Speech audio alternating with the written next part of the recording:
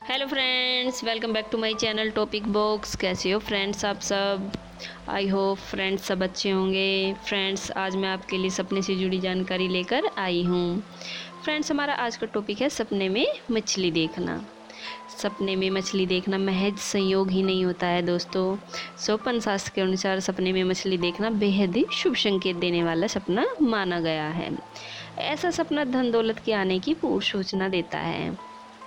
क्या क्या संकेत मिलते हैं दोस्तों, देखते हैं।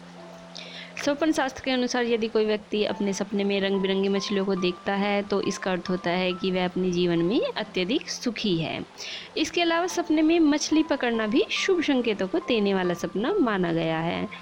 दोस्तों स्वप्न शास्त्र के अनुसार ऐसा सपना यह संकेत देता है कि कठिन परिश्रम के बाद व्यक्ति को ढेर सारी सफलता मिलने वाली है। साथ ही व्यक्ति को आने वाले समय में धन से जुड़ी सभी समस्याओं का समाधान होने वाला है।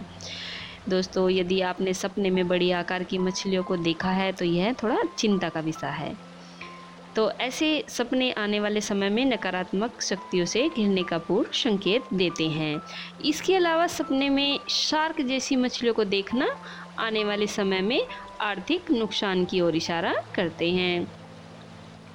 दोस्तों, शास्त्रों की माने तो मछली प्रतीक है देवत्व और श्रेष्ठा का। यानी कि इसका सपने में आना आपके लिए शुभ संकेत होता है। वहीं स्वपन शास्त्र के अनुसार यदि कोई व्यक्ति सपने में बहुत सारी रंग बिरंगी और छोटी छोटी मछलियों को देखता है तो इसका अर्थ यह है कि वह अपने जीवन में काफ़ी सुखी है और आगे भी वह सुखी रहेगा और उसे धन की कोई कमी नहीं रहने वाली है।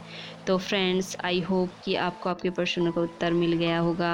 फ्रेंड्स वीडियो को लाइक और शेयर करना ना भूलें और जिसने मेरे चैनल टॉपिक बॉक्स को अभी तक सब्सक्राइब नहीं किया है, वो मेरे चैनल टॉपिक बॉक्स को सब्सक्राइब कर लें।